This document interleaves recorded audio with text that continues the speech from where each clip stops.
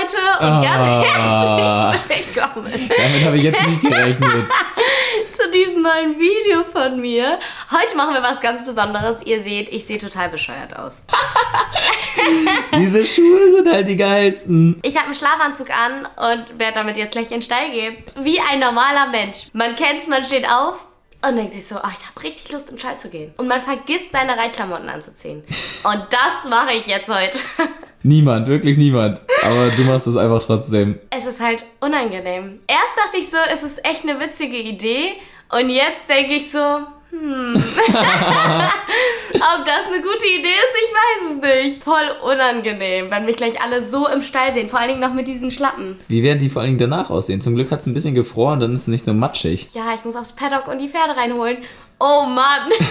Dann lass mal schnell los, damit das Unangenehme gleich auch schnell vorbei ist. ja, wirklich. Let's go. Wir sind jetzt im Stall angekommen. Im Stall? Beim Paddock. Also beim Paddock, ja. Ist ja eigentlich kalt? Nein, gar nicht. Es sind Videos gerade. Und ich trage hier sowas. Du hast ja aber was darunter angezogen, oder? Ja, ich habe da drunter was an. Gut, weil Aber sonst trotzdem halt kalt ohne Jacke. übertrieben. Was hast du eigentlich da drunter an? Hast du noch Weihnachtssocken an? Ja. Und darunter noch andere Socken. Nee, Äh. ich glaube, ich muss eine Jacke drüber ziehen. Ich weiß nicht, ob das geht. Was willst du überhaupt im Schlafanzug heute mit den Pferden machen? Du kannst Gute doch nicht mal Frage. reiten, oder? Ich möchte auf jeden Fall mit Valentine heute Kutsche fahren. Oh, das wird richtig kalt, Hella. Da musst du eine Ja. Jacke anziehen, sonst wirst du krank. Ja, das stimmt. ja, dann lass uns jetzt erstmal mit der Kutsche fahren, aber ich glaube, ich ziehe eine Jacke drüber, weil es geht halt einfach nicht. Keiner, wirklich Vor keiner. allen Dingen, diese Schuhe sind halt nicht wasserdicht. Die sind halt nicht wasserdicht. Es ist ja aber auch nicht nass, es ist nur gefroren. Es ist kalt, Freunde. So stelle ich mir Hella jeden Morgen vor, wenn sie die Pferde rausstellt. Würde ich hier wohnen, dann würde ich es wirklich so machen. Hoffentlich sieht dich keiner. Ich hab mal deine Jacke sicherheitshalber aus dem Auto geholt. Perfekt. Ich habe ehrlich gesagt ein bisschen Angst, dass mir gleich ein Pferd auf den Fuß tritt. Mit Eisen ist nicht gerade sehr angenehm. Das stimmt. Aber wird schon, wird schon, Leute. Du hast aber Glück, es ist ein sonniger Tag und es ist, windet nicht. Ja, total Glück. Aber es ist 0 Grad, mir ist gar nicht kalt. Die Leute gucken schon komisch. Hey, ich weiß gar nicht, was die haben. Weiß ich auch nicht. Hey, ich bin gerade aus Bett gekommen. Die beiden Mäuse und eine Ratte. Zwei Mäuse und eine Ratte. Oh nein. Gollums Terrassentür ist ja bei dem Wetter sogar geschlossen. Ja, damit die Tränke nicht einfriert, leider. Manchmal wünscht man sich in Spanien zu wohnen. Ja, aber selbst da wird es im Winter kalt. Ja, wirklich. Vielleicht eher in Südafrika. ja, wirklich. Aber dafür gibt es da Löwen, die einen fressen können. Ich habe für Cookie gestern Abend das Futter vorbereitet, weil ich dachte, dann habe ich es heute ganz einfach. Und dann das. Es ist einfach gefroren. Das kann ich wegschmeißen, oder? Ich glaube schon. Weil er kann doch jetzt hier nicht so einen Eiswürfel Nee, essen. natürlich nicht. Oh Mann. Ja, das hätte man sich auch denken können bei den Oh mein Gott. Temperaturen. Ja gut, dann mache ich jetzt einfach was Neues für ihn. Willst du die Jacke eigentlich anziehen oder geht's? Ja, ich möchte die anziehen. Sicher? Ja, mir Aber ist du- wirklich kalt. Nicht, dass du dich noch kurz vor Weihnachten erkältest. Das sieht aber auch geil aus. Die Schuhe sind einfach legendär, wirklich. Okay, sie sind jetzt schon dreckig. Oh Mann, ich dachte, ich kann die noch richtig schön so im Haus verwenden, weil die sind eigentlich richtig schön kuschelig. Aber sie werden halt nach dem Stalltag richtig dreckig sein. Wo kriegt man sowas überhaupt? Ich habe die bei C&A gekauft. Dann lass uns mal fertig machen und mit dem erstmal eine schöne Kutschrunde machen. Okay. Ich hoffe, mich sieht keiner, sonst denken alle, ich bin gerade aus dem Bett gefallen. Ist nicht so. Du fällst immer geschminkt aus dem Bett, ne? Mhm. Sehr logisch. Ich muss jetzt erstmal für Gollum das Heunetz stopfen oder diesen Heusack. Mm, schön mit den Schuhen in die Box rein. Ich glaube, die kann ich mir dann nochmal neu kaufen, weil in unserem Haus muss ich die nicht mehr tragen. Ja, die trägst jetzt jeden Tag in den Stall. Ja, genau. Deine neuen Stallschuhe. Mega, die sind auch richtig sicher. Nee, Leute, macht das wirklich nicht nach, wenn dir da wirklich ein Pferd auf den Fuß tritt. Dann ist vorbei. Gutes Rentier. Ich bin halt froh, dass jetzt gerade noch nicht so viele Leute da sind im Stall. Ich werde hier gemobbt. Sie wurde gerade gefragt, ob sie Fieber hat, weil ihre Wangen so rot sind. Nein, es ist Schminke. Aber wenigstens wirst du wegen deiner Schminke gemobbt und nicht wegen deinem Outfit. Das ist völlig normal. Es sieht so geil aus, Hella, wirklich. Wie so ein kleiner Zwerg. Aber Leute, ich hab... Ah, Du bist kriegst du das gefangen. hier ab? Mach uns die Jacke kaputt. Ah. Oh, jetzt... Hast du gerade gesehen, mein Arm hängt da auch wieder fest. Oh, So, gut. jetzt kann nichts mehr schief gehen. Nee, gar nichts mehr. Jetzt bereiten wir das Futter für die Pferdchen vor. Hast du doch gerade. Äh, achso, das war das Heu.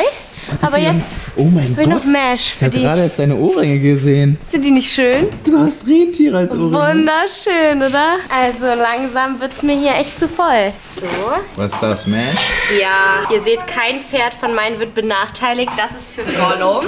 Das ist für Valentino. Ihr kriegt auch eine kleine Leckerei. Ja, nachdem er Kutsche gefahren ist. Nicht, dass das bis dahin schon wieder gefroren ist. Oh nein. Und für Cookie das Größte, weil der am dünnsten ist und der braucht einfach noch ein bisschen was auf die Rippen. Boah Leute, wenn ihr das riechen könntet, ich finde das riecht so, sowas von gut. Ich würde das am liebsten selber essen. Oder? Findest du auch, das, Das riecht riecht wie gut? so Brennnesseltee oder so. Das sind halt einfach nur so ein paar Kräuter und so. Valentine hat sich hier noch einen Futtervorrat mitgenommen für die Kutschfahrt.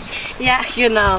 Nee, die bürste ich jetzt ab. Du Fiesling. Oh, er hat so einen krassen Plüsch bekommen. Seht ihr das? Wie viel Fell das ist? Crazy. Oh mein Gott. So ein Plüsch könntest du heute auch gebrauchen. Ja, Valentino, darf ich mich an dich rankuscheln? So, ja, bitte. Das gefällt dir, ne? Das gefällt dir. Schau mal, wie schrecklich das aussieht. Siehst du diese Stufen hier? Hast du es geschnitten oder Nein, ich war das nicht. Antonia war das. Sie so, ach komm, ich schneide ihm das hier so ab und das sieht einfach bescheuert was? aus. Sein Bart. Aber er hat ja genügend Fell, muss man ja mal ehrlich sagen. Okay, ich hol schon mal die Kutsche. Ich verstehe auch nicht, wieso du dieses Video nicht einfach im Sommer drehst. Das frage ich mich auch. Valentine Also hat auch gerade genickt. Er Ja, denkt sich das auch so, fragt was hat die jeder. schon wieder? Das verstehe ich wirklich nicht. Das Rentier ist angespannt. Also welches jetzt das? Oh, witzig. Ich wohl nicht. Bist du nicht angespannt? Nee, Valentine ist auch noch nicht ganz angespannt. Er ist noch nicht ganz ready. Ich muss hier noch kurz nachgurten. Valentine frisst hier die Blätter vom Boden. So, dann können wir losfahren. Okay, Steig kurz auf. im Schlafanzug. Ah, kalt. Ja, wir sollten eigentlich noch eine Decke mitnehmen oder so. Ja, egal. Egal. Sehr Los gut. geht's. Schniefst du schon? Ja. Deine rote Rudolfnase. Hast du Fieber, Hella? Ja. Gutes Rentier. Ganz feines Super. Rentier. Kannst schon bald beim Weihnachtsmann anfangen. Ja, Muss nur noch fliegen lernen. das kann er auch. Ah, Kann echt gut springen. ja. Piep, piep. Der Weihnachtsmann. Lass mal bei meinen Eltern anhalten und noch eben eine Decke holen. Können wir. Das ist sehr frisch. Tom kommt endlich wieder mit einer Decke. Und ich habe dir Handschuhe mitgebracht. perfekt. Und Valentine und ich mussten hier 30 Minuten gefühlt Genau. warten. Und guck mal, was ich noch gefunden habe. oh, wie nice. Mandarin. Okay, weiter geht's. Perfekt. Erstmal die Handschuhe anziehen. Ich habe hier vor allen Dingen auch so eine richtig schön dünne Decke. ist das für eine Decke? Das sieht aus wie ein Schal. Die habe ich bei meinen Eltern aus dem Wohnzimmer geklaut. Die Oh hilft uns, glaube ich, auch nicht viel, aber besser als gar nichts. Valentine hat richtig gut gewartet. Ich dachte, du sagst geweint. Nein, Valentine hat geweint in der Zeit, wo du nicht gekommen bist. Nein, weil er möchte dann immer los und sich bewegen. Das ist ja auch sehr gut, aber trotzdem muss er halt am Anfang lernen, einfach mal anzuhalten und zu warten. Das ist ganz, ganz wichtig, dass man die Pferde dann aus jeder Situation auch einfach anhalten kann. Ja. Nein, schau mal, ich halte jetzt mal an. Okay, mit der Bremse. Gut, du kriegst gleich sogar ein Stück Mandarine, wenn du lieb bist. Oh, wie lieb ist er, Leute, er ist so süß. Jetzt geht's weiter. Sehr Ah. schön. Ja, das ist ganz wichtig. Vorzeigepony. Also auch wenn alles andere nicht klappt und wenn alle Stricke reißen, das muss sitzen. Valentino nicht erschrecken. Hier ist einfach ein Engel. Der sieht so gruselig aus, also ich finde zu Halloween hätte er besser gepasst. Oh mein Gott. Vor allen Dingen verkleiden die diesen Baumstamm einfach. Wahrscheinlich am 24. wird das ein Weihnachtsmann sein oder wahrscheinlich. so. Wir haben jetzt auch mal einen zweiten Gang gelegt, weil die Autofahrerin hinter uns wollte uns nicht überholen. Oh nein! Nee, das hat nicht so gut geklappt mit dem zweiten Zweiter Gang. Gang. Trotzdem wurden wir jetzt von einem Jedi überholt. Ja. Oh, Valentino lässt sich das nicht gefallen. Der Marathon beginnt. Ja. Er hat einfach sein eigenes Tempo, das ist immer ganz wichtig, auch in der Schule. Bei irgendwelchen Läufen nimmt immer euer eigenes Tempo, sonst haltet ihr das immer bis zum Ende nicht durch. Das habe ich auch immer so gemacht. Und dann hat man es geschafft. Ja, gegangen bist du dann immer, ne? Nein! Oh Mann! Aber Valentino macht das gut, der hat eine gute Ausdauer. Ja. Sportskanone. Er ist wortwörtlich eine Sportskanone. Sein Bauch ist die Kanonenkugel. genau. Oh, er ist richtig zufrieden. Das ist schön. Na, ist es dir unangenehm mit der Maske? Gar nicht. Hier sind zum Glück auch keine Leute. Schaut mal, wen wir hier gefunden haben. Barney, Fantasia. Oh Gott, der ist richtig interessiert an Valentino. Ich glaube an der Kutsche auch. Ja. Alter, wie schön sieht diese Landschaft aus, Oh Leute. ja, wirklich richtig schön. Wonderful. Wow, wie schön der Fluss hier sogar gefroren ist. Yes, alles gefroren. Mesh gefroren, Fluss gefroren, heller gefroren, Ja. meine Finger gefroren. Aber ich sag dir eins, Tom. Meine Stirn friert nicht. Wegen der Schlafmaske. Die trage ich natürlich immer, wenn ich schlafen gehe. nicht. hast. Ah ja, genau. Genau. Die kühlt noch meine Stirn. Ach ja, bis du das hier hinbekommen hast mit deinem Pony, schäle ich mal hier eine Clementine. Ja, mach das mal. Ich habe die Mandarine gepellt. Ah, danke schön. Guten Appetit für die Zuschauer.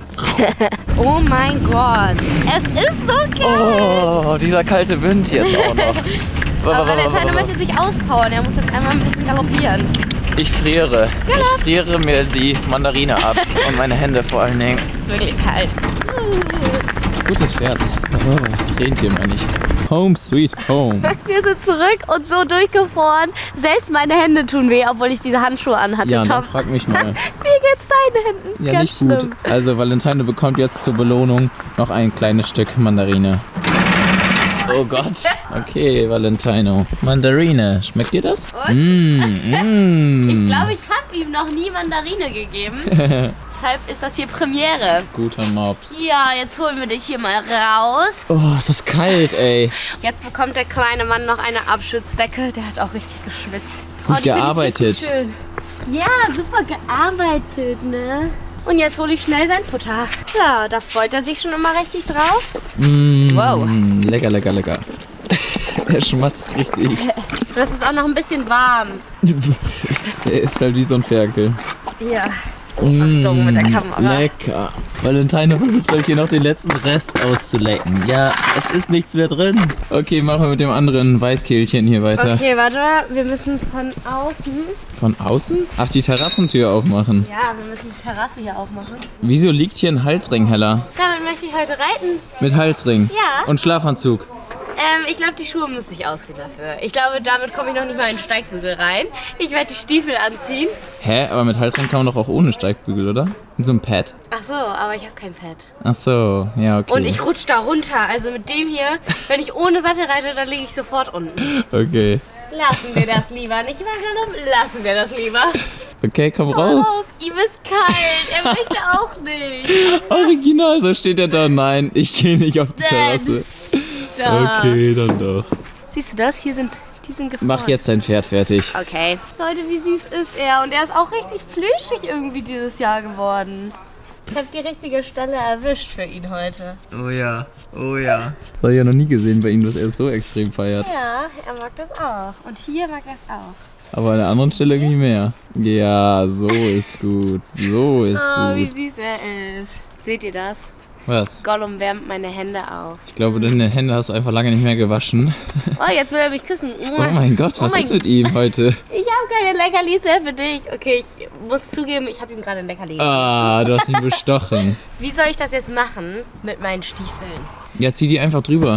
Hier drüber oder was? Ja? Das ja? wird halt niemals passen. Das Doch, wird deine niemals Reithose passen. passt da auch rein. Nee, ich habe jetzt mal die Handschuhe an, weil ich kann das nicht mehr. Leute, ich glaube, das passt nicht. Das passt einfach nicht. Ja, und jetzt? Was soll ich jetzt machen? Was jetzt, Hella? Ich muss die Hose ausziehen. Die Hose ausziehen? Sonst kann ich nicht reiten. Ja, moin.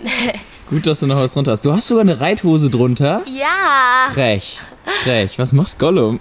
Ja, ob- Willst du mich weißen oder was? Nein, er hat gegeben. Ach so, der will mich weißen Nein. in Slow Motion. Ich bin dafür, dass du dir die Hose da wieder drüber ziehst. Nein, ich bin Doch, dafür, dass ich Hella. einfach so reite. Leute, ich bin seit ewigen Zeiten ihn jetzt auch nicht mehr geritten, weil wir im Urlaub waren. Und jetzt sind wir erst wiedergekommen. Und dann gleich so war es wieder. Ja. Da falle ich schon wieder wahrscheinlich runter. Von ihm bist du lange nicht mehr runtergefallen. Ja, das soll auch so bleiben. Aber ohne Jacke dann wenigstens. Ja, ohne okay, Okay, Und mit der Haube. Wo ist eigentlich deine Schlafmaske? Die liegt im Putzkoffer. Ja, die setzt du dir gleich schön wieder auf. Okay. Hella, ich will es ja nicht aussprechen, ne? Aber die Kacke ist am Dampfen. Die ist wortwörtlich am Dampfen. Herzlich willkommen in der Reithalle. Rauf da. Wir müssen jetzt erstmal eine halbe Stunde Schritt gehen. Und ich fühle ihn jetzt einfach. Eine halbe Stunde. Ja. Oh, Hella, es ist kalt. Schön, ne? Es ist kalt. Aber dann ist er gut aufgewärmt und dann kann ich antraben. Wow. Und wie lange das denn traben? 10 bis 15 Minuten und eine Runde Galopp. Oh, wow. Wow. 30 Minuten später, Hella sitzt auf dem Pferd und hat ihre Jacke ausgezogen. Ja, und mir ist kalt, deshalb muss ich jetzt mal reiten. Ich habe die Maske gar nicht. Ist dir gar nicht aufgefallen. Ah, Jetzt ändere ich es nicht mehr. Mann. So, dann trabe ich jetzt mal an. Ich bin gespannt, wie Gollum läuft. An manchen Tagen läuft er besser, an manchen schlechter. Ich hoffe, heute ist ein guter Tag. Mal sehen. Also es war jetzt kein überragend guter, aber auch kein mega katastrophal schlechter Tag. Also ich glaube, jeder kann erkennen, dass Gollum leider immer noch nicht so 100% rund und schön läuft, aber es wird immer besser und ich glaube, wir sind da eigentlich auf einem ganz guten Weg. Also wenn man sich mal das erste Video anschaut, wie er wirklich stocklahm gelaufen ist, dann ist das wirklich jetzt ein Unterschied von Tag und Nacht. Ich kann ja noch mal kurz sagen, für alle, die jetzt neu sind oder es vielleicht noch nicht mitbekommen haben, Gollum war im August, war das, von einem auf den anderen Tag einfach stocklahm. Wir sind dann natürlich in die Klinik gefahren und dann wurde in den Vorderhufen bei ihm eine Hufsgelenksentzündung und im Knie eine Meniskusentzündung diagnostiziert. Und seitdem sind wir ja alle sechs bis acht Wochen in der Klinik und die Tierärztin meinte, dass wir auf einem guten Weg sind und solange er durch das Reiten dann auch im Bewegungsablauf flüssiger wird, dass wir so erstmal weitermachen können. Also wenigstens dürfen wir ja jetzt auch eine Runde Galopp dazu nehmen. Das ist auch ganz schön und ja auch ein Fortschritt. Und ja, ich bin einfach froh, dass ich wieder ein bisschen reiten kann und ich hoffe einfach, dass wir im nächsten Jahr wieder richtig durchstarten können und er dann auch total fit dann wieder ist und wir dann vielleicht auch die ein oder anderen Sprünge wieder machen können. Jetzt machen wir ein bisschen Arbeitsteilung. Ich führe im Gollum noch ein bisschen Schritt und Hella macht schon mal Cookie fertig, weil wir haben nicht mehr so viel Zeit. Ich muss los. Ich habe halt nicht immer den ganzen Tag Zeit, um im Stall zu chillen. Ne? Ich hoffe, sie zieht sich jetzt auch ihren Schlafanzug wieder an.